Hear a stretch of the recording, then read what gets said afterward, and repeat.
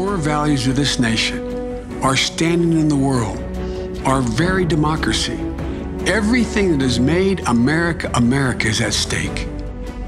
That's why today I'm announcing my candidacy for President of the United States. From the minute Joe Biden sets foot onto the campaign trail, he is the person to beat. The question is whether one of these 19 other candidates emerges as his chief adversary, or whether his biggest obstacle will be Joe Biden himself.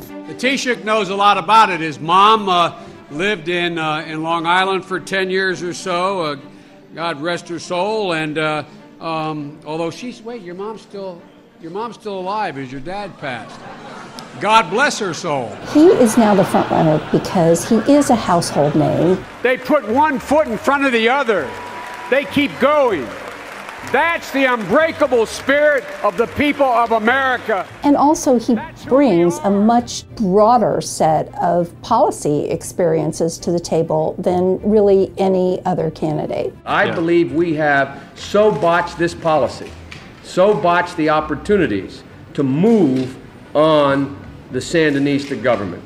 The S&L scandal, we need not tell anyone, is the biggest white collar ripoff uh, in this nation's history. Judge, if I look only at what you've said and written as used to happen in the past, I would have to vote no for all the respect that he is given as the elder statesman, if you look back at Joe Biden's previous races, his 1988 bid flamed out in the middle of a plagiarism scandal. In 2008, he won exactly 4% of the vote in the Iowa caucuses. There is a lack of message discipline. The next Vice President of the United States of America Joe Biden!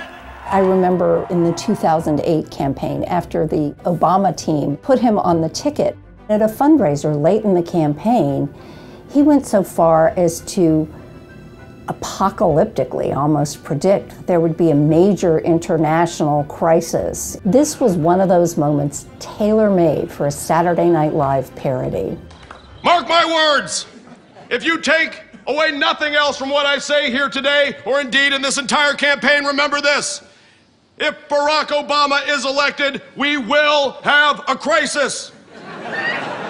There are some episodes that he is going to have to explain in greater detail. His handling of the Senate Judiciary Committee and its treatment of Anita Hill, in recent months, we saw a bunch of incidents unearthed where he made women uncomfortable. He is, in his own words, a very tactile guy. You know, social norms have begun to change, they've shifted, and the boundaries of protecting personal space have been reset. And I get it. I get it. But then, within a day or two, he was joking about it. I just want you to know I had permission to hug Lonnie. I, which really made people wonder did he really get the message? The question is whether Biden can really adapt to what politics is, what politics has become. It's not so much that he will seem old, but that he runs the danger of seeming as though he is a politician of a different era. We have to remember who we are. This is America.